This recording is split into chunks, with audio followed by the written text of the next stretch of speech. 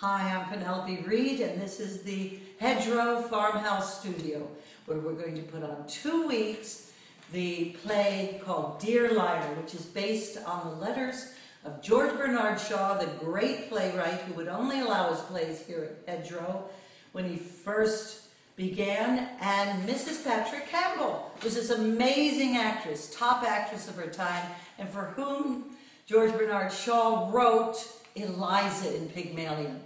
These letters are the story of their relationship, and it's so much fun, and how with her little Pekingese, she would only go across the waters to America and then back to England if she could bring Moonbeam, her little Pekingese. It's a lot of fun. My wonderful Zoran Kovcic, my husband, and one of Hedgerow's favorite actors, is playing the lead.